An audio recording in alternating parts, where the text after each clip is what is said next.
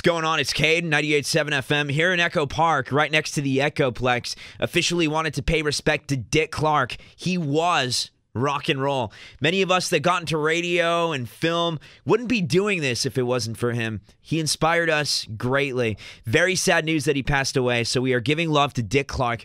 For now, Dick Clark, so long.